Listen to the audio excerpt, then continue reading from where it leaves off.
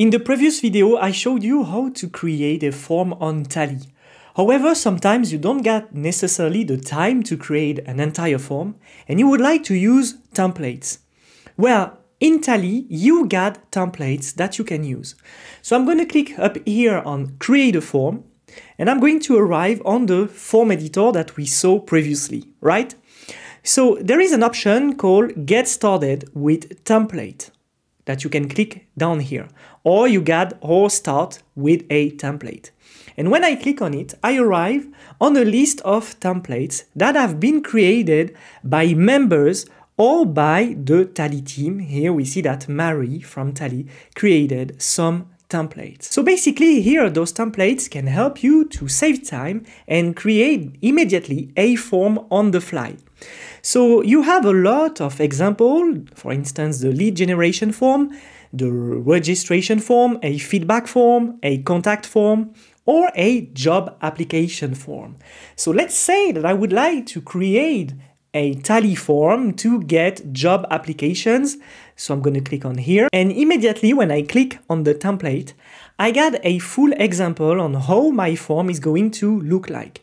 So we can see here that I got first name, last name, email, phone, location, and we can see also that when we click on some inputs, we've got some options that can be put here related to the type of your input. All right, so I can see that here I got already something existing. So let's say that I would like to recruit, for instance, a community manager for codewithguillaume.com. I would use this template here and I arrive immediately into the form editor of Tally and I can change everything like I want. So I'm going to say um, community manager and here it's going to be full-time contract, okay? Uh, and here it's going to be uh, for the company codewithguillaume.com. There we go. So now I want to add my logo, so I'm going to do exactly like the same time. My logo is uploaded now. What I want to do is to add a cover, so I can click on cover and I can change the cover. Okay, so I'm uploading a cover that I choose. You an aspiring, let's say, um, community manager. There we go here. So what if I want to put this into Bolt, we see here that I got the code editor directly here, so I can click on Bolt, blah, blah, blah, etc., etc. So I can see on all of them, all of these inputs, okay, that I got inputs type. When I click here on each field, I can see that I got options. I can say, hey, for instance, I want to hide this block. Or if I want it to be required, I can click on require. So when I go down and I try to submit here, okay, when I will try on submit, actually, not now, but later, it will uh, highlight here if it's not a right email. So I want to put all of them as required, okay? And we see here that I got also the example of minimum character or max character. So probably you would like to use this. We're going to see that into customization, okay? So I'm going to click on require, etc., etc. And here we see that I got the upload. So here we got the text area. It's basically working exactly like a text. But here we see that I got the upload option. So when I click here, we see that I got also options about multiple files, max file size, etc, etc. Okay, so let's say that I want to save this. I'm going to click on publish. And like always, what's happening is that I got my share link and I got uh, my uh, community manager offer here with no complete submission yet because I didn't share it yet.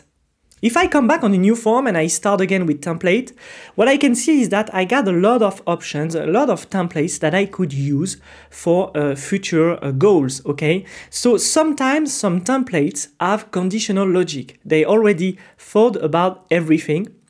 So here we, we can see that we got some promo telegram form, for instance. We've got other forms. We see that some people uh, published some forms here. So I'm going to get back to the top, okay? And um, I can get some other options. I can see by my team, and we see that in my team I have nobody because I just created this account. There is no template yet, but how can I create my own template? We can see up here that I can click on create your own. So if I click here, I get a full guide that tells me how to create my own template. So let's start to create my own template. And let's say that this template will be uh, for instance, to collect emails. Okay, so collect emails template. Uh, here's a template to collect email. This is a very basic example, but this is to show you how to publish your own template to collect emails. Okay, so if I go down and I click here on insert a block below and I click on email, okay, I'm going to click here. I'm going to click on insert. Here we are. Okay, we see here also that I can move. This is something that I didn't tell uh, the last time, but we see that I can move, for instance, my, uh, my element down there. This is really, really useful when you want to uh, play with um, the, the size and the place of every element. And what I can do is to click actually on publish. And now, while I'm here, I can go down and we see that we have create a template option. So I can click on create and suddenly I got this option here. So I'm to say collect email. I can put it public or private, okay? So if I keep it private, it's only um, people in my team that will see it. If I keep it public, we got this. So what I can say is to say, hey, it's going to be about marketing. I can add a screenshot. This is a basic template um, to collect emails. Basic template to collect emails. There we go. So if I click on complete, what's going to happen is that now my template will be available for everybody. And down here, we see that I got the download count of people who's going to use my template. So I'm going to get back. I'm going to click on delete. And it's asking me if I want to delete this template. So I'm going to say yes. All right. And my template has been deleted, but I can still access, of course, my uh, own instance of collect emails. All right. So up here, I got a collect emails template where I want to uh, actually, I want to change it because I want to use it. So I'm going to keep it this way. And there we go. I got my collect emails. So basically, let's finish this collect emails uh, because it's not really useful this way. So what I want to do, I want to delete all of this. And as we can see, I can get back and I can change totally collect emails by clicking start a new template exactly like we did.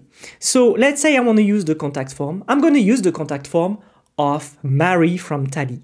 And there we go. And if I want to, um, uh, basically, if I want to uh, customize it, I can still click here.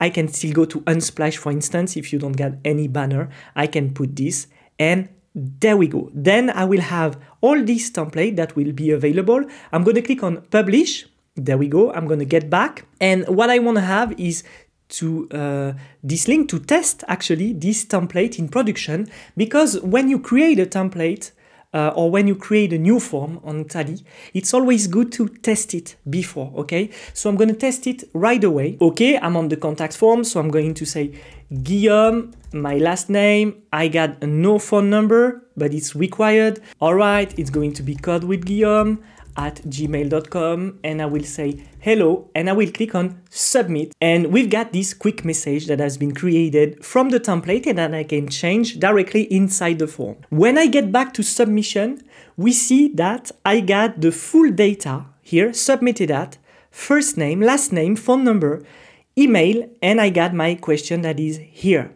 So basically, with those templates, we also got a model on the submission uh, uh, array, on the submission Google Sheet, for instance, if you want to download it as your CSV, everything is already done. And thanks to the template, we can save a lot of time about the question that we want to ask and about the design of it.